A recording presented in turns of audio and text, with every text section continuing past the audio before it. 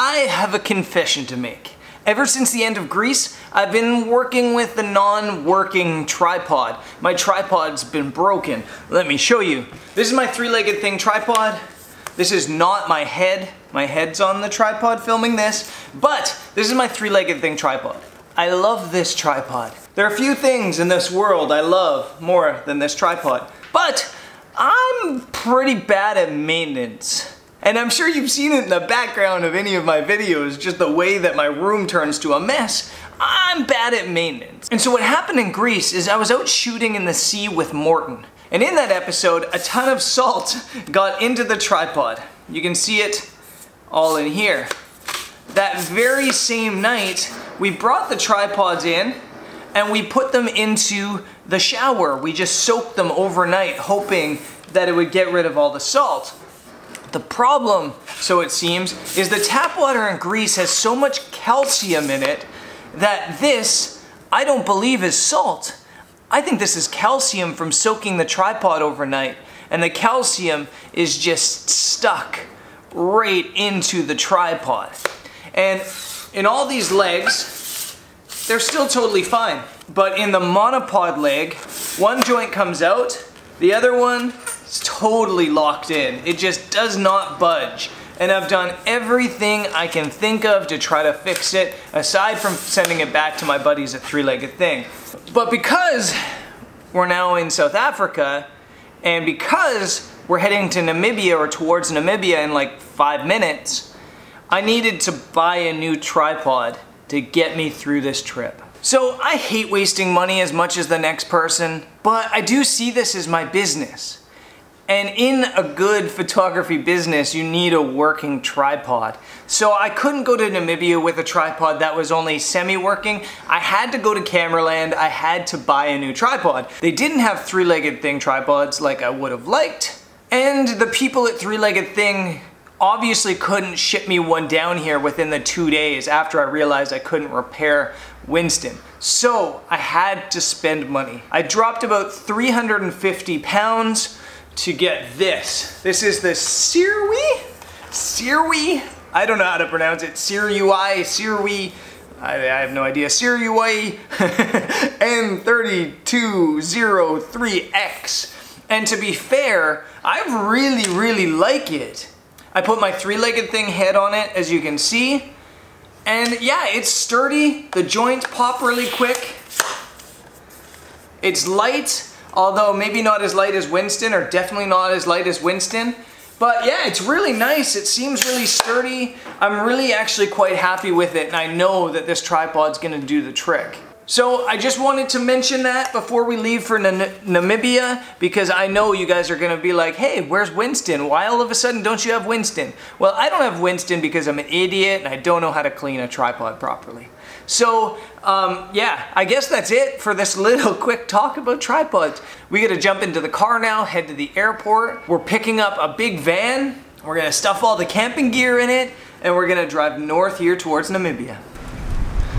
We got our new whip, the big vehicle, and we're heading up to Lambert's Bay, up the coast. I think I'm gonna stop maybe in Langebaan as well. So yeah, we better hit the road. Lots of kilometers to cover.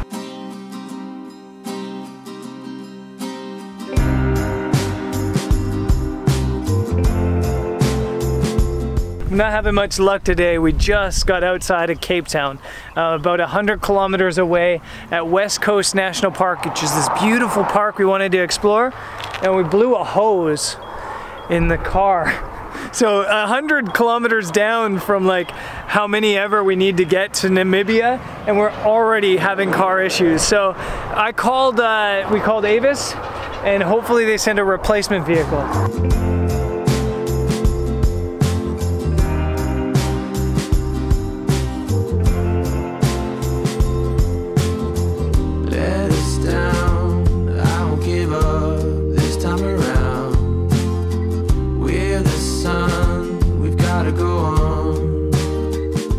Reality is we just wanted a gray van. Uh, we got the new van. It's gray or silver and we're off again. It looks like we have to skip the national park, but yeah, we got it sorted. thanks to Avis. Yeah, we didn't get a van that worked properly the first time, but Avis is always so good at like sorting things out. So um, I think we're gonna cruise on to Langebaan, no, to Lambert's Bay, crash the night, and then I'm gonna get up and shoot some photography first thing in the morning. On.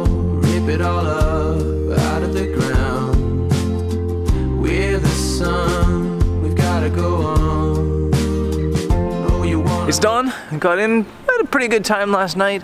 The new van is much better than the old van, so it's a good thing we switched now.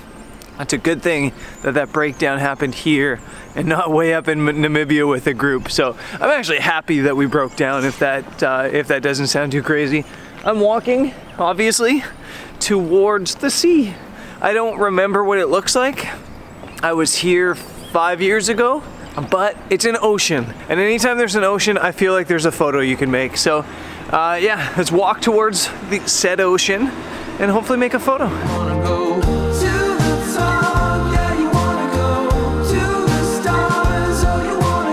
Wow, so I'm having a bit of a moment here, like flashback nostalgia. I walked down to this point and I went, I feel like I've been here before.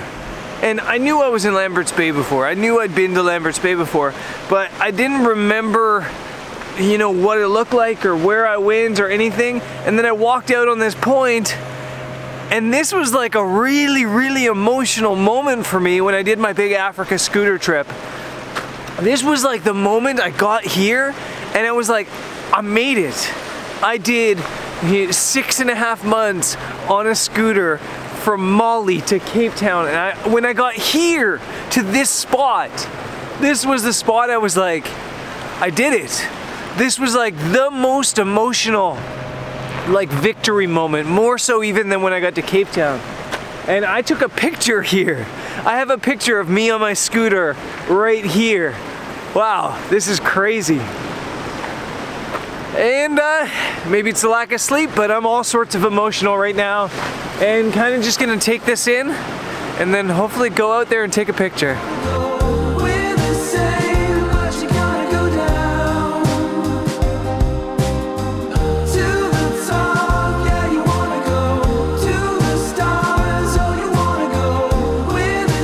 Okay, let me walk you quickly through what I'm doing. I got the new tripod set up, and to be honest, I really like it. There's nothing like having a new tripod. It just, yeah, everything's really smooth, stable. I like it. I have zero complaints about this tripod so far. Um, what I'm trying to do here is I've come to this spot that's not perfect, but showing up to a place in the dark makes it a little bit hard even if you were here five years before. And I found this spot that has kind of like stacks and the waves come in and then they kind of bounce up here and every now and then they get high enough to be on the top level there's a second level and then down at the bottom so every now and then the water comes all the way up to the top like right now and then it retreats back and you kind of have this waterfall effect. Uh, it's kind of going the wrong direction, the waterfall effect. It's going out away from the camera, but I think it still works. The real challenge though is the fact that it's really, really heavily backlit and there's not a cloud on the sky.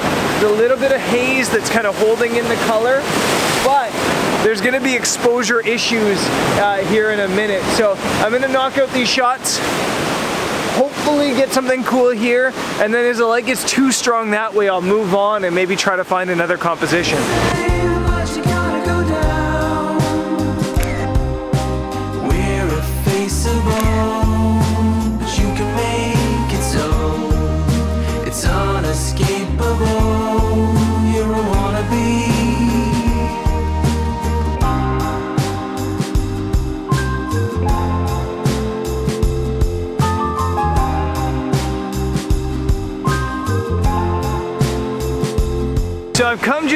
Out and there's beautiful light that way, like a gradient of blues and purples. But I'm gonna do something stupid. Maybe not stupid, I'm gonna do something counter to that. There's this, I guess, I don't know what it is, a fishery? I'm not sure, I don't know stuff like this. But there's this old building with the chimney stack up top and these beautiful rocks in here. There's seaweed in the water that might look cool, and there's some big waves crushing through here every now and then. It's in the backlight a little bit. It's not great. The light's definitely not great. It might end up being a black and white photo, but I think this is the coolest composition out here. So I'm gonna flip the camera away from the amazing light straight into this awful backlight.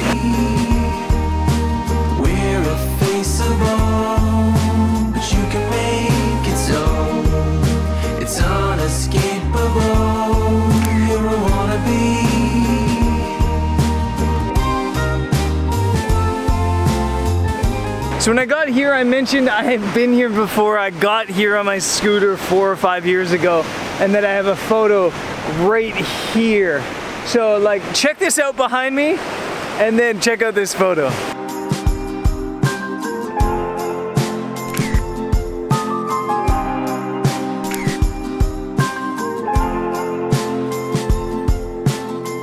Crazy, absolutely crazy. It's been a long video. I know it's been a long video. I didn't expect me to have car trouble, obviously, but it's been a good day despite. It's been fun to get back on the road, and I cannot tell you how much I'm looking forward to pushing even farther north here and into Namibia. It's gonna be so, so good. So I'm gonna call this an episode. Tomorrow, Jody and I are jumping back in the van we're gonna probably check out this island here in Lambert's Bay that has all these birds on it, apparently. And then we're gonna push north. And I'll see you guys there. Peace.